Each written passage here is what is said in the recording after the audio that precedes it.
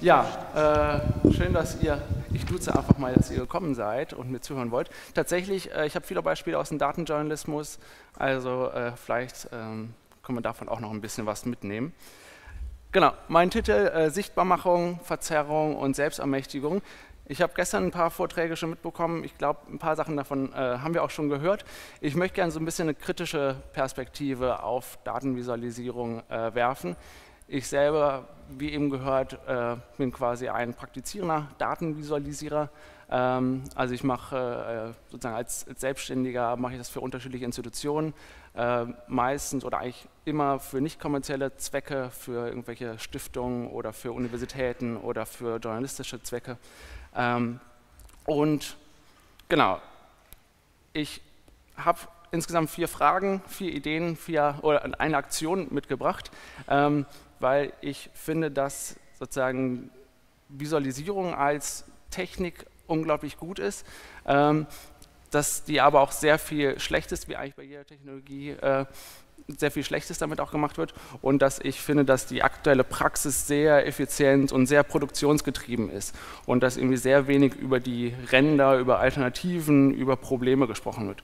Und deswegen habe ich einfach diese vier Fragen, äh, Fragenblöcke eher, sind nicht nur einzelne Fragen, äh, mitgebracht, die für mich immer ganz hilfreich sind, wenn ich mir eigene äh, Arbeiten angucke oder natürlich auch von anderen und dann vier Ideen, wie wir vielleicht anders über Visualisierung sprechen können und noch eine Aktion, um das Ganze noch ein bisschen, um dem ganzen guten Ende zu geben.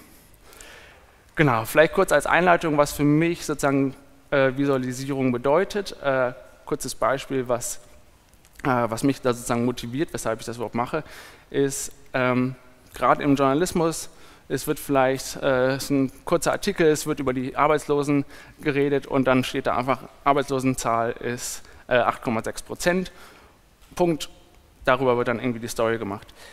Was Visualisierung kann, was ihr jetzt bestimmt auch schon in den Tagen äh, oder gestern auch schon sehr häufig mitgehört habt, ist, äh, Visualisierung kann dem Ganzen einfach ein bisschen mehr Kontext geben, man kann einen zeitlichen Verlauf haben und dann sehen wir in dem Beispiel, was jetzt aus den USA ist, äh, dass die Zahl tatsächlich gestiegen ist. Wir wissen also äh, so ein bisschen besser diese 8,6 Prozent einzuordnen.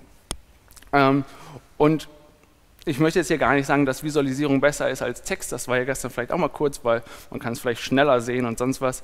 Ähm, ich würde das gar nicht als absolut sehen, für mich funktioniert das eigentlich immer nur zusammen. Ähm, weil ganz häufig bei so Tests, okay, das eine kann man vielleicht schneller erkennen, wir können irgendwie 10 Millionen Datenpunkte in der Sekunde oder was weiß ich erkennen.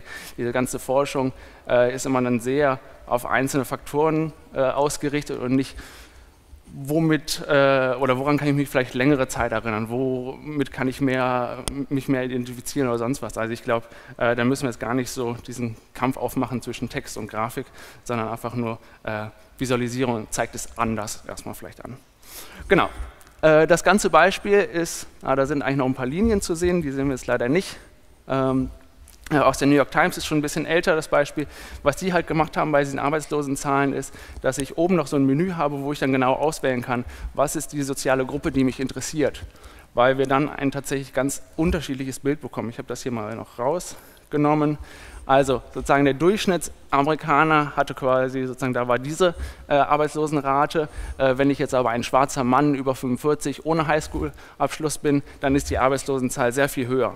Und schon haben wir ein sehr viel ja, facettenreicheres, äh, nuancierteres Bild, ähm, was ich glaube in der Visualisierung auch was sehr gut funktioniert und was wir irgendwie auch da als, als Chance verstehen sollten.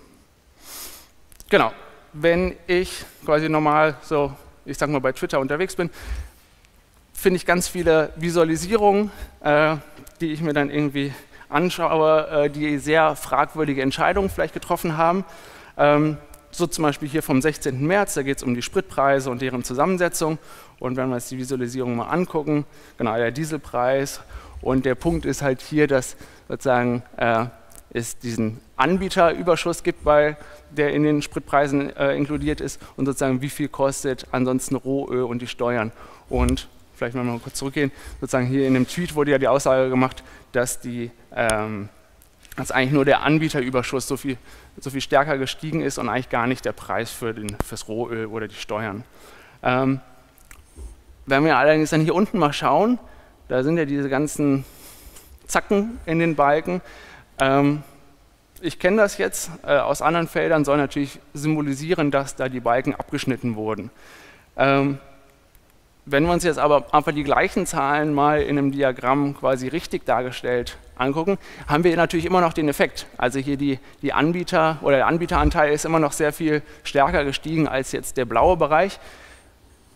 Trotzdem ist es natürlich eigentlich auf der linken Seite falsch dargestellt. Ich kann ja auch nachvollziehen, weshalb das gemacht wurde, soll ja schön in den Tweet reinpassen und dann kann man das ja unten abkürzen.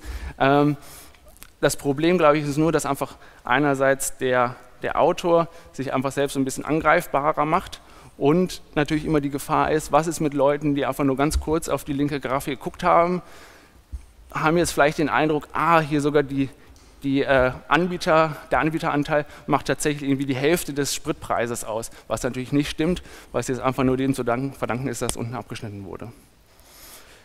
Genau, und das glaube ich ist eine ganz gute Übung. Auch da möchte ich euch halt ermutigen, immer mal wieder, wenn euch so im Alltag Visualisierung begegnen, einfach zu gucken oder zu überprüfen, was wurde da gemacht, welche Entscheidungen wurden da getroffen, was sind da vielleicht äh, Probleme.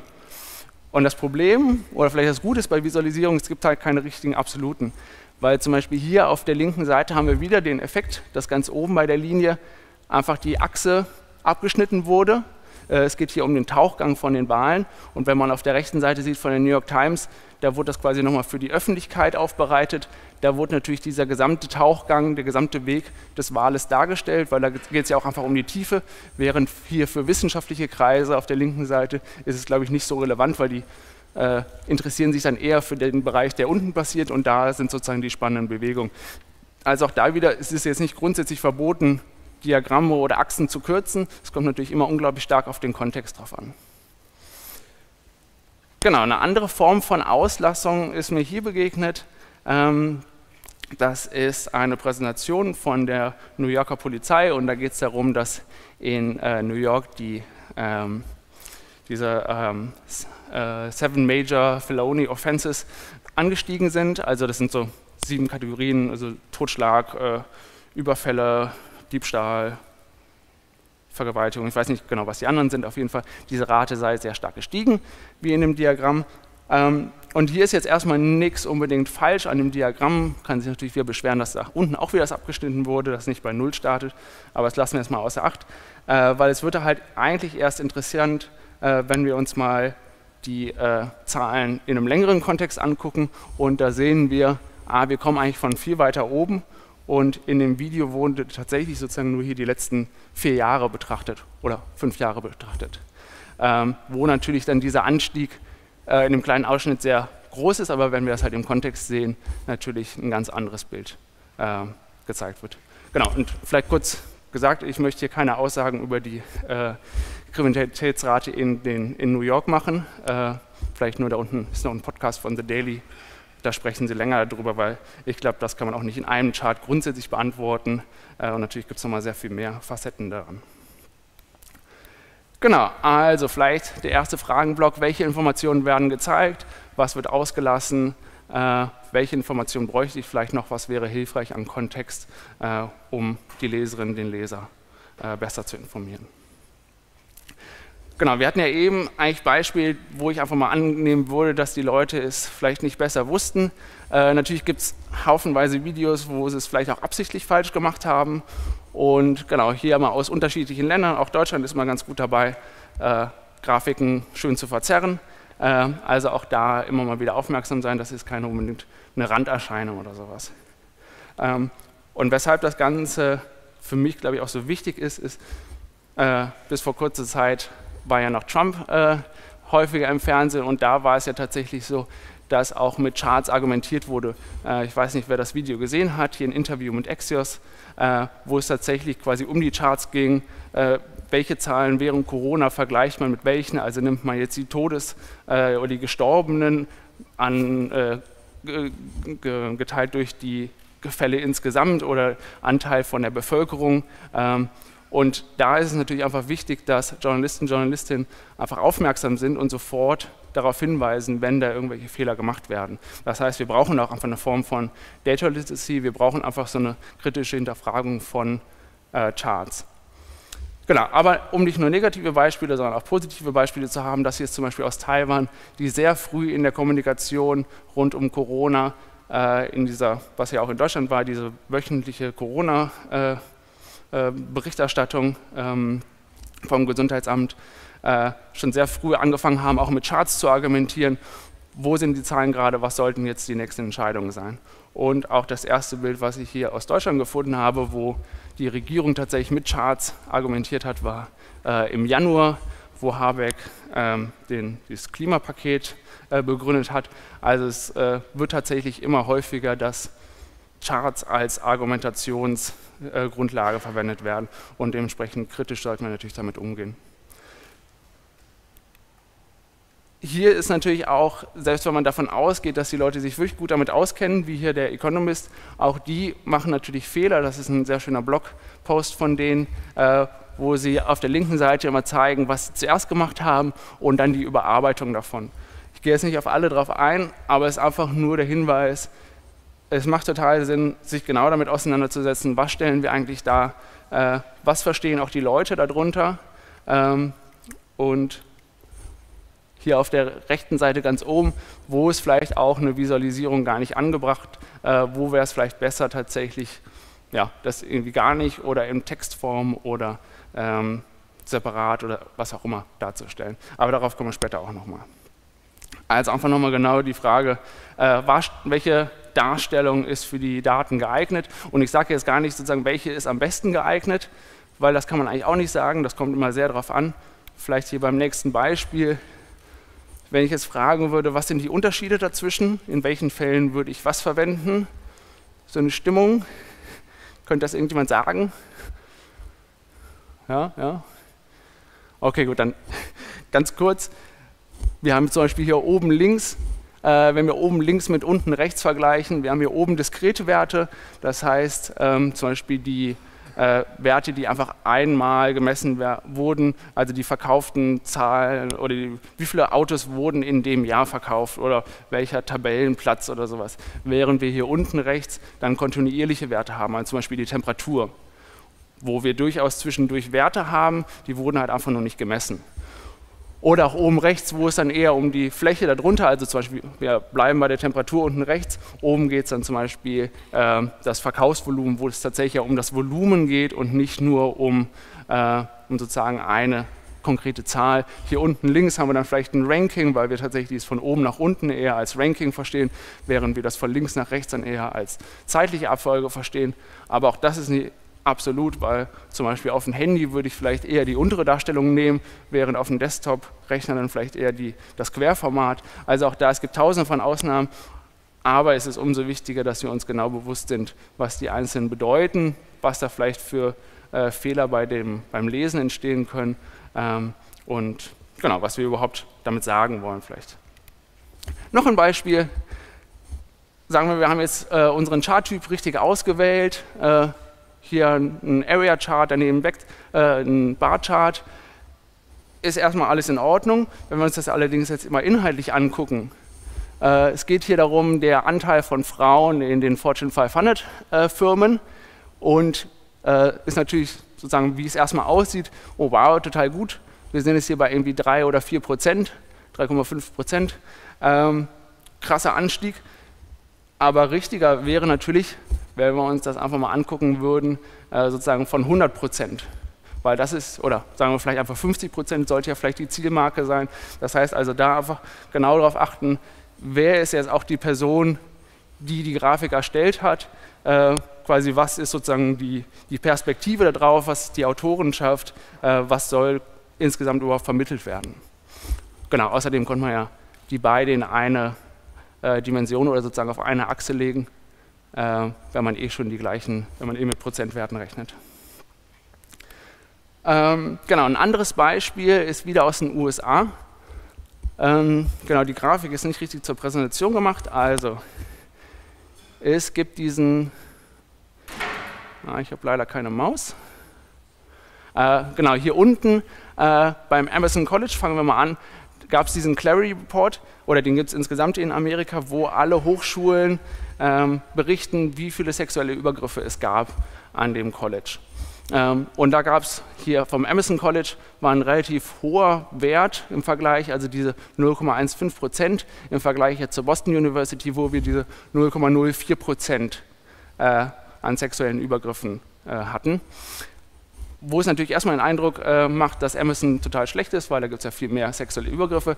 Das kam allerdings an Gruppen von Studierenden sehr, sehr seltsam vor, weshalb die nochmal einen eigenen äh, eine eigene Befragung gemacht haben, all diesen Climate Survey, der natürlich auch vielleicht ein bisschen fehleranfällig ist, wie Sie gesagt haben.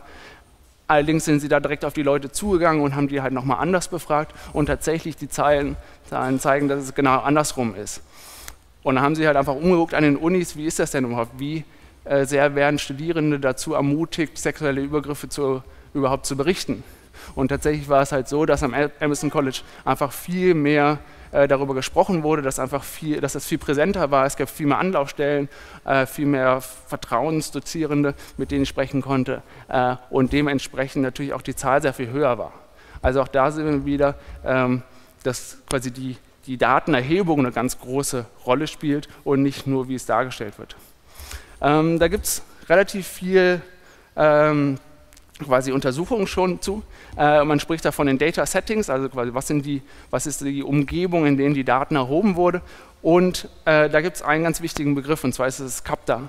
Ähm, das ist nämlich von Joanna Drucker ähm, quasi erfunden oder äh, besonders äh, häufig verwendet dass ähm, wir anstatt von Data zu, äh, immer zu reden, sollten wir stattdessen von Capta reden. Weil Data klingt immer so, oder quasi in der Definition ist ja das Gegebene. Sie argumentiert allerdings so, dass es eigentlich immer ein aktiver Prozess ist. Also immer wenn wir Daten erheben, ist das eine ganz gezielte Auswahl von Daten, das ist eine ganz klare Kategorisierung, da ist sozusagen, da werden Entscheidungen getroffen, das ist einfach ein aktiver Prozess und nicht dieses vom Himmel gefallene Daten, die sind halt einfach so.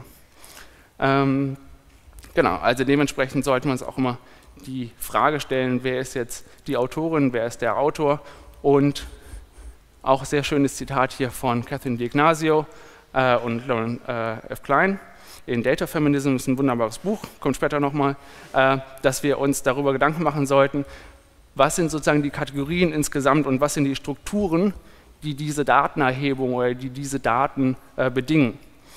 Ähm, also wer sind die Personen, ähm, was sind die Strukturen, was sind äh, die, ja, äh, die Intentionen vielleicht sogar tatsächlich dahinter.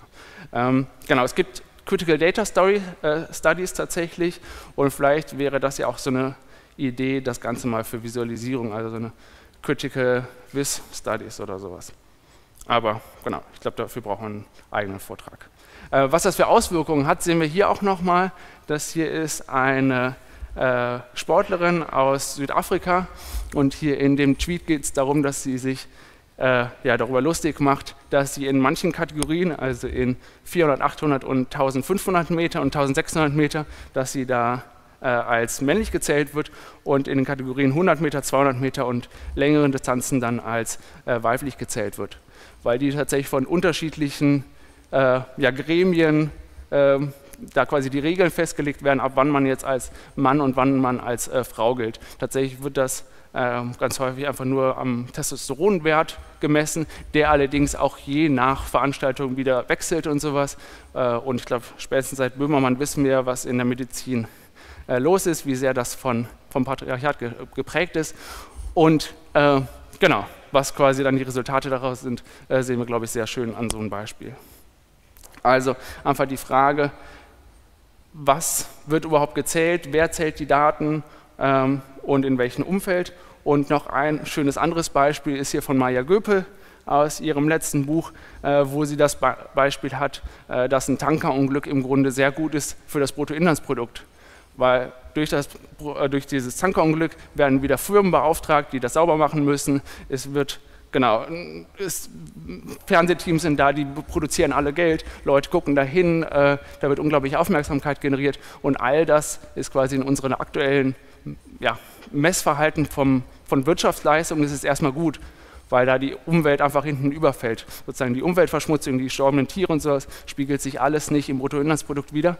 Äh, genau, und dementsprechend kann man eigentlich sagen, Ölunglücke sind, Ölunglücke sind gut äh, für die für das Wirtschaftswachstum.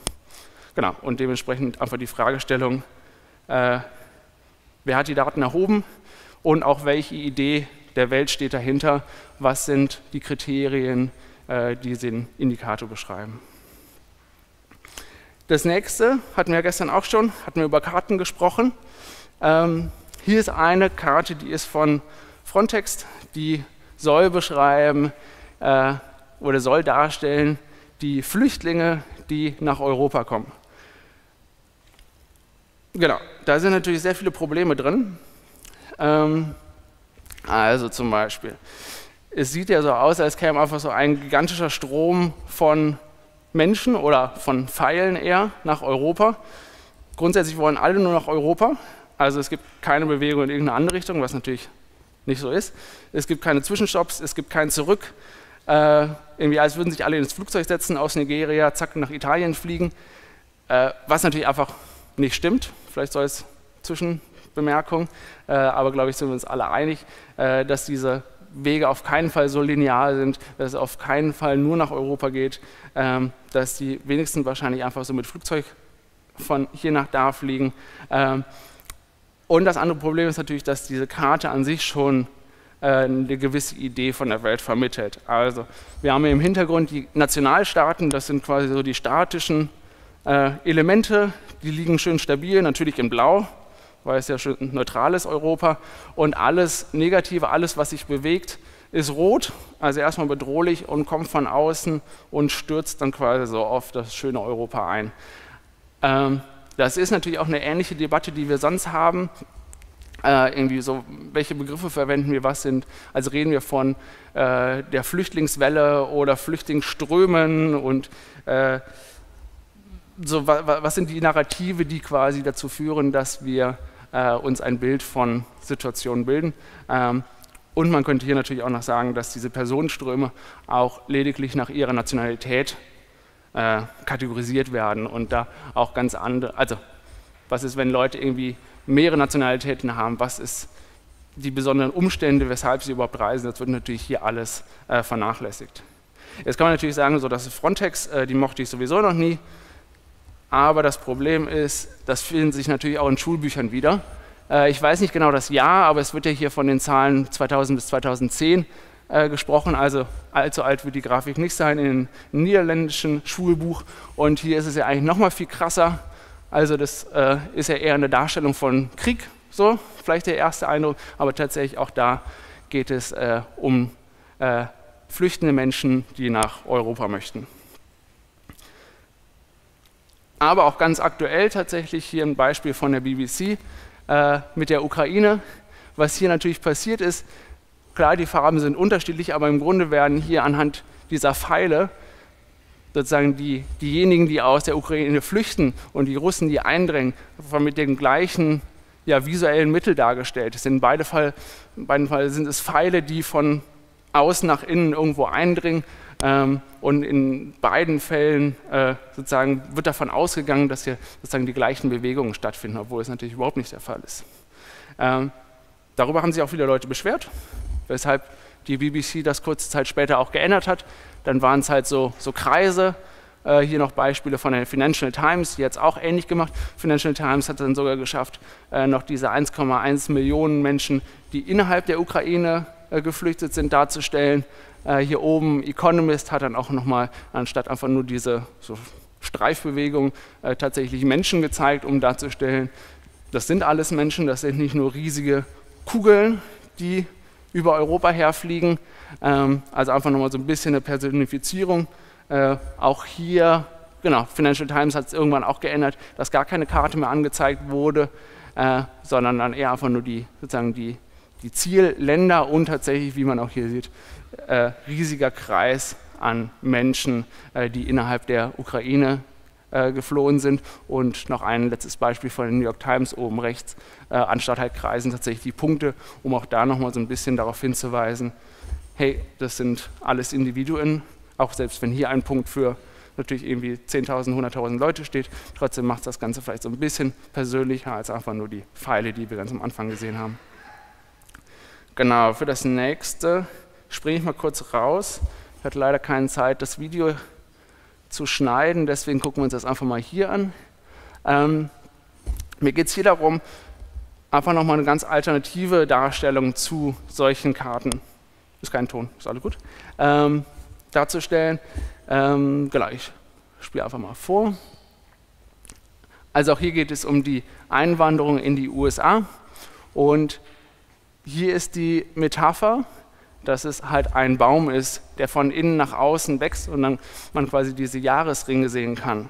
Also quasi da ein ganz anderes Bild. Es ist eher so, dass der Baum größer und stärker wird, je mehr Leute aus unterschiedlichen äh, Richtungen äh, nach Amerika kommen. Genau, und dann haben wir das hier so, ich springe mal ein bisschen nach vorne, damit wir das, genau, es ist ein bisschen blass hier, aber ich glaube, es wird klar, äh, quasi wie dieser Baum in unterschiedliche Richtungen, je nachdem aus welcher Richtung die Menschen kommen. Also wir haben hier unten die Legende, diese Grünen kommen aus Europa, äh, Norden ist, oder dieses Blaue ist äh, Kanada, äh, Latin America, Afrika, Asia hier so ein bisschen und Middle East, äh, weiß gerade, sehe ich auch gerade noch nicht, aber genau, so sieht es dann Richtung Ende aus. Also ich finde es eine ganz charmante Art und Weise, mal anders über Flüchtlingsströme nachzudenken, nicht immer dieses äh, von außen nach innen eindringende, sondern von innen wächst etwas und wird stärker und größer. Genau. So, dann also die letzte Frage auf der ethischen Ebene. Äh, welchen Eindruck vermittelt die Grafik und was sind so die, die Eindrücke, was sind die was sind die Metaphern, die wir verwenden, wem schadet das vielleicht was äh, und wem nützt diese Grafik. Also hier nochmal in der äh, Übersicht äh, ist ein bisschen umgangssprachlich formuliert, aber vielleicht ist es dementsprechend auch näher an eurem Leben dran und ihr könnt das vielleicht eher da mal verwenden. Genau, als nächstes möchte ich aber über Selbstermächtigung sprechen. Ähm, also einfach, auch den Begriff hatten wir gestern schon, äh, sozusagen, was sind äh, sozusagen dann Ansätze, um das Ganze vielleicht zu verändern. Äh, also um dem so ein bisschen gegenüberzustehen, Visualisierung, die sehr stark vom Silicon Valley geprägt ist, Kategorisierung, die sehr patriarchal und westliche Strukturen äh, sozusagen aufweist, Praxis, die sehr effizienz- und produktionsgetrieben ist. Als erstes würde ich sagen, eine Opposition zu einfachen Narrativen, das hatten wir am Anfang schon, wo wir die Arbeitslosenzahlen nochmal nach sozialen Gruppen aufgeteilt haben, ähm, das einfach hilft, differenzierter zu argumentieren. Auch da habe ich wieder eine Karte mitgebracht, wo wir sehen, na, sehen wir nicht so viel. na gut, wir erahnen, dass je feiner die Karte aufgelöst ist, umso besser können wir natürlich auch erkennen, was sind da für regionale Unterschiede. Ich gehe direkt mal weiter. Hier sieht man es, glaube ich, besser. Ähm, also wo wir vielleicht einfach nicht mehr nur auf Ländergrenze argumentieren, sondern eher dann nach Regionen, ähm, wo wir dann auch sehen, dass wir uns in Europa vielleicht sehr viel ähnlicher sind, auch über Grenzen hinweg. Oder so ja hier auf der rechten Seite von äh, Zeit Online in der Wahlkarte, wo man sehen kann, ah, wir können fast gar keine Ländergrenzen mehr erkennen. Anscheinend sind die einzelnen Menschen sich doch so ähnlich äh, und quasi deren Meinung ändert sich nicht so krass an der Ländergrenze, wie das sonst häufig vielleicht der Eindruck ist. Ähm, dann leisen Vorgängen ein Gesicht geben, auch das, glaube ich, kann Datenvisualisierung sehr gut, indem wir andere Daten sammeln, neue Akteure zeichnen lassen. Und davon ist ein gutes Beispiel von der nigerianischen amerikanischen äh, Künstlerin Mimi Onuhoha, wahrscheinlich habe ich es falsch ausgesprochen, ähm, die ein Projekt hat, uh, The Missing Data Sets, uh, wo sie einfach nur gesammelt hat, was sind Daten, die es noch nicht gibt, die wir aber erheben sollten. Also ähm, zum Beispiel, wie viele äh, muslimische Viertel werden von der, äh, vom FBI überwacht, äh, wie viele äh, Transpersonen werden aufgrund äh, ihres Aussehens in der Wohnungssuche diskriminiert. Aber jetzt vielleicht auch ganz aktuell, wie viele äh, arbeitende Menschen sind in Katar gestorben. auch da äh, wurde jetzt ja in der Tagesschau ab und zu darauf hingewiesen, äh, dass die Zahlen einfach nicht erhoben werden, weil die immer nur unter die allgemeine Kategorie äh, ja, Herzversagen oder sowas gefasst wurden und nicht tatsächlich, sie sind bei der Arbeit aufgrund der Hitze oder irgendwas gestorben. Und auch da sozusagen das Zitat von ihr, äh, dass es halt immer, sobald ein Datenset erhoben wurde oder eigentlich, man kann es auch genauso gut umdrehen, äh, sobald das erhoben wurde, gibt es auch immer äh, diese, sagen, eine andere Seite, die das lieber nicht erhoben haben möchte oder wenn es noch nicht erhoben möchte, dass tatsächlich aktiv auch verhindert wird, dass diese Daten erhoben werden. Ähm, Leise Vorgänge sichtbar machen ist auch hier das Thema. Äh, hier geht es um den Klimawandel und einerseits auf der rechten Seite, äh, wo ähm, ich glaube in 2100 der Meeresstand projiziert wurde in der Landschaft oder auch hier in Boston, wo die Menschen dann die zukünftigen äh, Meeresspiegel abgelaufen sind, um den sichtbar machen zu können in der Stadt. Und dann auf dieser Leiter, wo auch nochmal die, äh, die, die Fußhöhe an Wasser, die an dem Punkt dann sein wird, äh, nochmal sehr schön angezeigt haben, indem wie hoch die Leute oder die Rednerinnen, äh, Redner auf dieser Treppe drauf standen. Oder andere Akteure zeichnen lassen, das sind noch Beispiele, wo die quasi die, die Natur ist der äh, Akteur. Äh, auf der linken Seite sind es äh, zwei Ameisen, die in so äh, Containern drin waren und da rumgelaufen sind. Äh, oder auf der rechten Seite quasi die, die Windbewegung. Äh, der Baum ist quasi der oder die Künstlerin, die dann diese Visualisierung kreiert. Ähm, Neuinterpretation, Countervis, auch das wieder in Anlehnung an Countermapping von gestern ähm, einfach, dass wir selber lernen, Visualisierung zu kreieren, um dementsprechend halt auch Fehler zu erkennen und aufzudecken. Und endlich mal noch ein Projekt von mir, um das auch noch da drin zu haben. Äh, da geht es um Airbnb, das ist schon ein bisschen älter, von 2015. Äh, es war früher so der Fall, dass die einzigen, die wussten, wie viele Airbnb-Angebote es in den einzelnen Städten gibt, nur Airbnb selber war. Die haben die Zahlen nicht rausgegeben, obwohl es diese große Diskussion gab, ob Airbnb schlecht für den Wohnungsmarkt ist.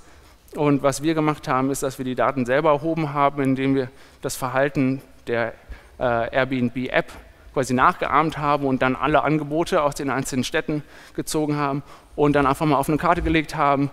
Ähm, hier oben ist äh, Berlin zu sehen mit der Ringbahn, wo man sehen kann, ah, die meisten Angebote sind natürlich innerhalb der Ringbahn. Was sind die meist äh, oder die, die beliebtesten Straßen bei Airbnb? Wer sind quasi die Top-User hier unten zu sehen, wo man sehen kann, dass die Top-User in Berlin, die Top 10, insgesamt 281 Angebote haben, ähm, die übrigens halt alle keine Steuern dafür wahrscheinlich bezahlen. Ähm, und auch hier auf der rechten Seite nochmal eine Deutschlandkarte, wo wir gezeigt haben, was ist der Anteil, was der Anteil an äh, nicht kommerziellen und wahrscheinlich kommerziellen Anbietern auf Airbnb. Ähm, genau. Und war äh, wurde irgendwie von der Presse ganz gut angenommen, weil es tatsächlich das erste Mal halt war, dass auch mal, ja, wie eben schon angedeutet, Zahlen von außerhalb von Airbnb kommen, äh, weil es natürlich offensichtlich ist, dass Airbnb das äh, sehr beschönigt hat, was da los ist. Als letzten Punkt da noch, äh, welche Daten sollten wir nicht erheben? Ähm, da geht es um die Gefahrenpotenziale von den Daten und halt auch schädlichen Visualisierung. Auch da wieder ein Zitat ähm, mit der Fragestellung, was ähm, quasi was mm, lassen wir verschwinden äh, auf der Welt, indem wir das, die Welt halt mehr vorhersagbar, mehr managebar, also auch da sozusagen wieder mehr quantifizierter machen, ohne halt auch diskreter, also wo wir Entscheidungen treffen, wo wir Dinge in Kategorien werfen. Ihr kennt das bestimmt alle von euch selber. Ähm, wo sind so die Fälle, wo habt ihr eher auf Daten gehört als auf euch selber? Ähm, also wo war es dann vielleicht so eine selbsterfüllende Prophezeiung, euer Schlaftracker hat gesagt, ihr hattet heute Nacht einen schlechten Schlaf und deswegen habt ihr es geglaubt und habt gar nicht geguckt, ah, war das vielleicht wirklich so? Wo habt ihr vielleicht eher dem Thermometer geglaubt und habt nicht einfach selber geguckt? Äh, was habt ihr an Begegnungen verpasst, weil ihr Google Maps verwendet habt? äh, und nicht nach dem Weg fragen musstet. Da gibt es ja tausend Beispiele, wo wir einfach eher den Blick aufs Handy oder irgendeiner Messeinheit oder was auch immer vertrauen, als ähm, all den anderen Faktoren, die es noch gibt, die wir eigentlich messen können. Und vielleicht noch, äh, man soll sich auch immer bewusst sein, woher das Ganze kommt. Ähm, und da äh, ist es halt einfach so, dass die Nationalsozialisten einfach halt quasi die Meister in Quantifizierung und Kategorisierung waren äh, wo ganze Bevölkerungsschichten in Gruppen eingeordnet wurden, wo es ganz klar, wo probiert wurde, wie können wir die Kopfform so vermessen, um irgendwelche Aussagen über sexuelle Vorlieben oder Herkunft oder sonst was zu machen. All das kommt natürlich aus dieser Zeit und dementsprechend äh, sozusagen ist auch diese Disziplin der Datenvisualisierung immer noch sehr stark davon geprägt. Das ist Absicht. Ähm, genau, einfach unter der Berücksichtigung, dass halt sozial Schwache immer überquantifiziert sind und immer unterrepräsentiert. Also wir merken das ganz stark irgendwie bei Hartz IV, wo, ganz, äh, wo unglaublich starke Überwachung herrscht, wo ganz genau angegeben werden muss, wie viel, äh, wie hoch ist der Kontostand, wo hält sich die Person auf, äh, aber auch die Nachbarschaften mit sozialen Schwachen werden tendenziell stärker mit Kamera überwacht. Äh, in der U-Bahn sind sehr viel mehr Kameras als in irgendwelchen Taxis, wo die Reicheren dann eher mitfahren. Auf der anderen Seite natürlich ist dieses unterrepräsentiert, sehen wir es vor allem in Machine Learning, die nicht auf schwarze Menschen äh, reagieren oder falsch reagieren, weil sie als Gorillas eingeordnet werden.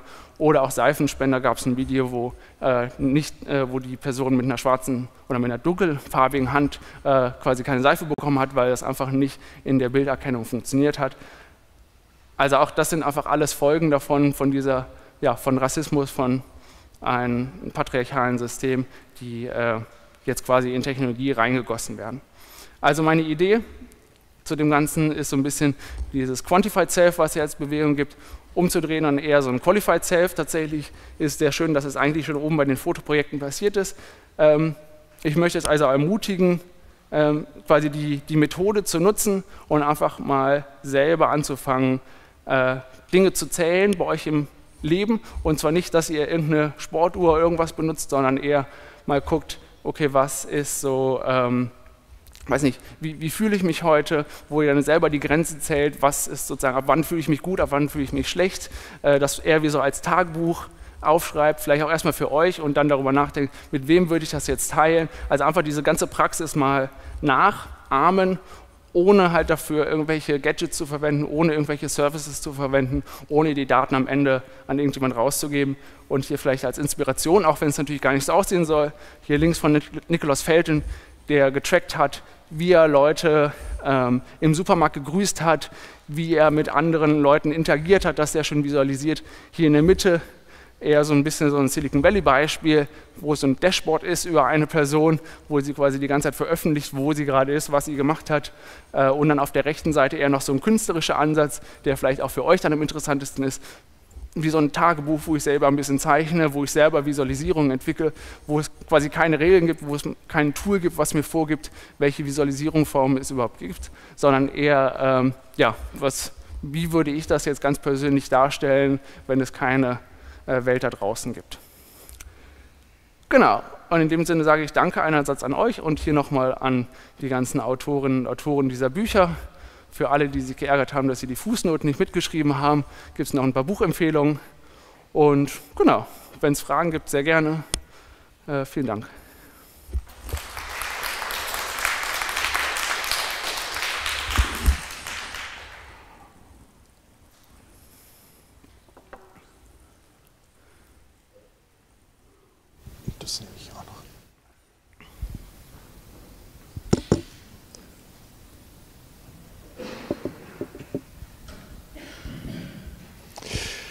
Ja, vielen Dank, Jonas, für diese sehr engagierte und äh, ähm, pointierte Präsentation sagen, deines Ansatzes äh, oder deiner Möglichkeiten, deiner Optionen, die du darin siehst.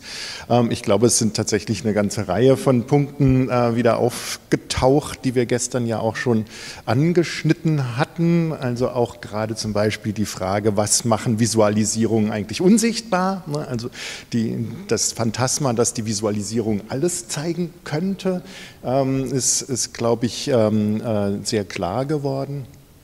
Ähm, dass jede Form der Visualisierung auch immer interessengeleitet ist und man gut aufpassen muss, wessen Interesse da eigentlich dahinter steht und was, äh, was damit bedient oder ausgelöst wird.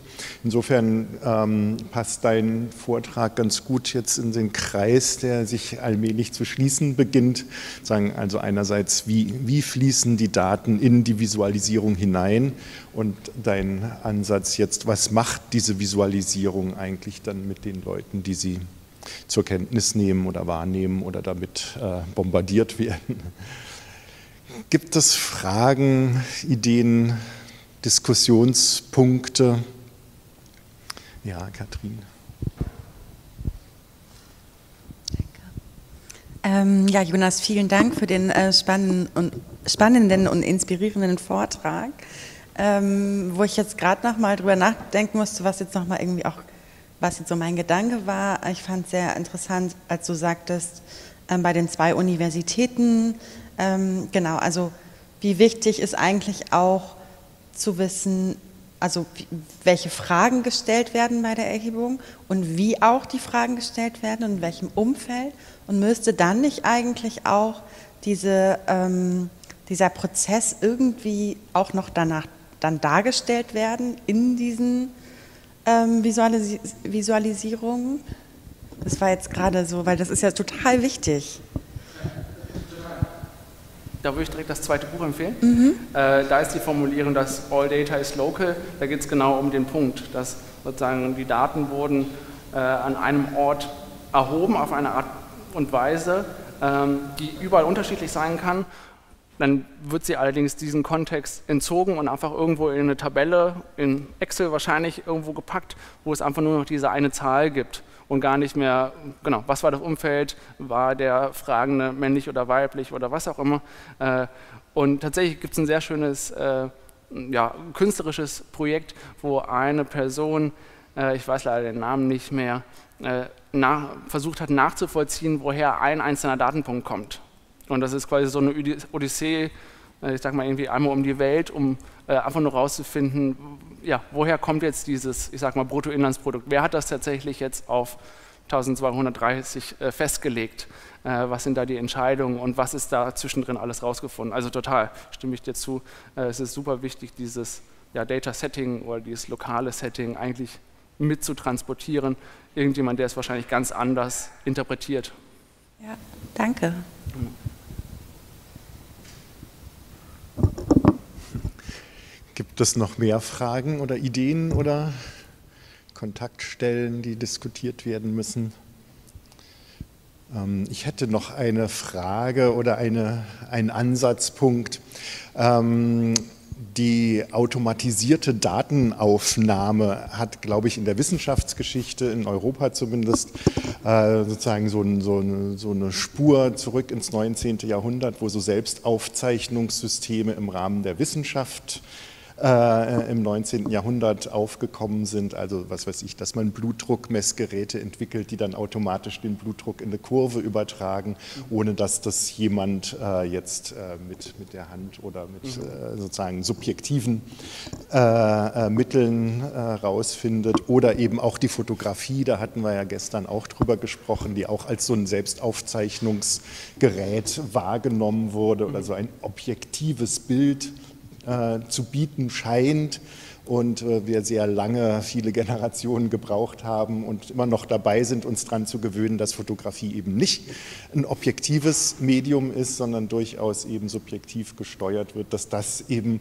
auch für die, äh, für die Datenvisualisierung gilt, die sozusagen sich automatisch generiert, weil man irgendeinen Algorithmus programmiert hat Ne, und den, den Aspekt, den du am Schluss gemacht hast, dass eben diese Algorithmen ja auch von Menschen programmiert sind, die ein bestimmtes Weltbild haben oder die äh, den Blick auf die Welt haben oder ein Interesse daran haben, dass die Daten eben so und so aussehen und nicht anders aussehen, damit dann eben also Extrembeispiel Fox News tauchte bei dir ja auch wieder auf, den hatte, äh, hatte, hatte Cornelia heute Morgen ja auch ein Beispiel davon, dass also so mit in bös, also würde ich jetzt unterstellen, mit bösartiger Absicht sozusagen was, äh, was, was äh, eingeschleust wird, mhm. um, um Menschen eben zu manipulieren oder sie dazu zu bringen, bestimmte Dinge zu tun oder zu lassen. Also war jetzt keine wirkliche Frage, war mir, war mir so, eine, äh, so, ein Ansatzpunkt.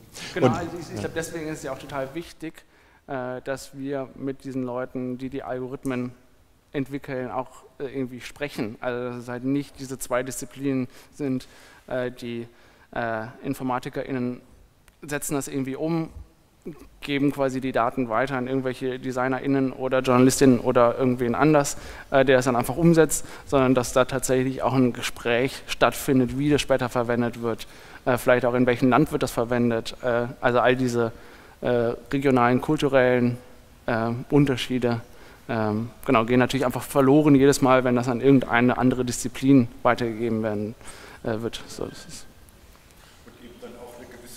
Verantwortung bei den Statistikerinnen liegt oder bei den Grafikerinnen oder bei all diesen äh, Menschen, die eben in diesem Kommunikationsprozess eingebunden sind. Ne? Und ja. jeder füttert sozusagen sein, ein Stück von seinem Interesse oder seiner Weltsicht hinein.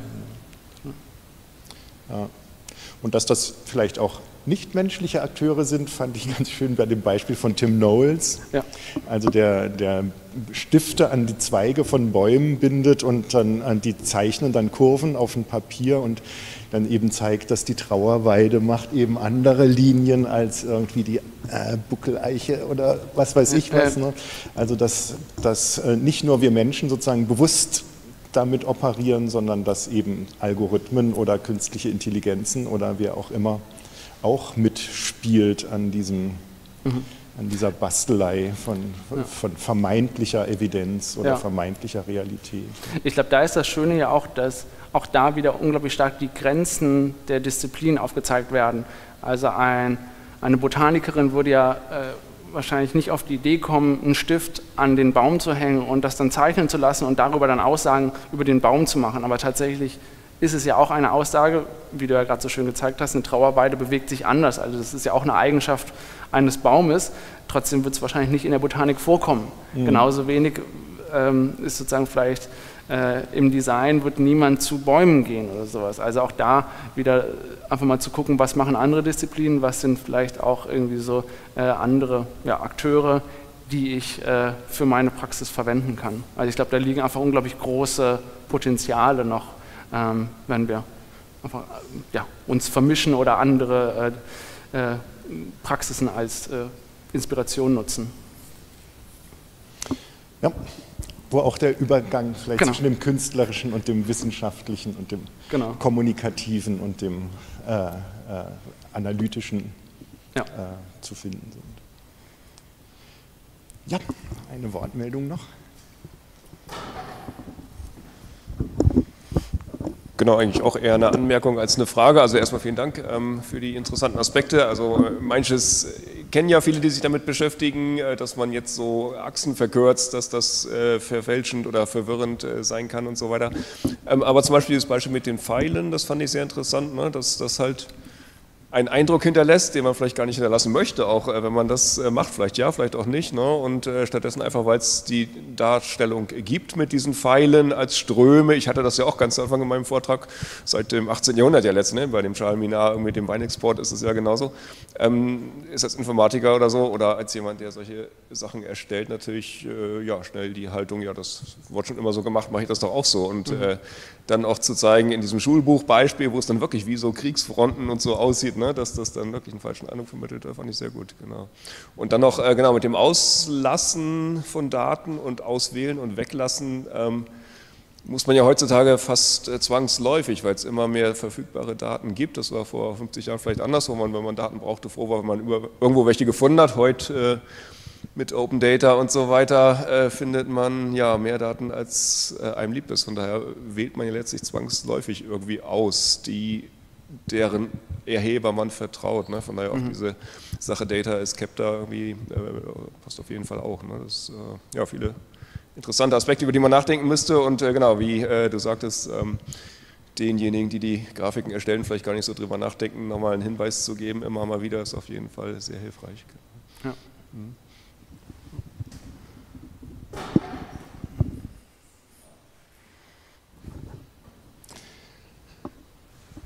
Gut, jetzt sehe ich keine Hände mehr oben. Insofern danke ich dir nochmal ganz herzlich für deinen Vortrag.